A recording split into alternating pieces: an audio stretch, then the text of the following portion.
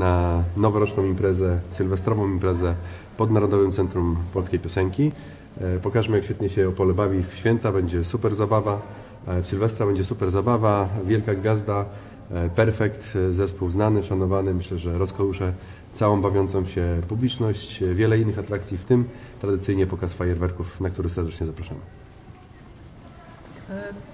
Narodowe Centrum Polskiej Piosenki zaprasza e, na e, parking przed amfiteatrem. To już tradycja, bo to już trzeci raz, jak robimy Sylwestra w tym miejscu. E, Tak jak powiedział pan prezydent, e, gwiazdą Perfect, czyli zespół, który myślę, że każdy utwór, który będzie wykonywany przez nich to, to hit. Wszyscy ich znają, lubią. E, Przyjęli nasze zaproszenie w tym roku, będą, e, będą dla nas grali od e, 22.45. Wcześniej o 22.00 zapraszamy już e, wszystkich e, chętnych do e, zabawy. Będzie DJ One Brother rozrusza imprezę przed gwiazdą.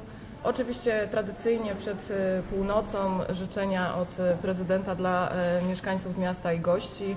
E, Pokaz fajerwerków e, i płynnie e, przy muzyce DJ-a o pierwszej, mam nadzieję, skończymy szczęśliwie i zadowoleni imprezę. Zapraszamy serdecznie.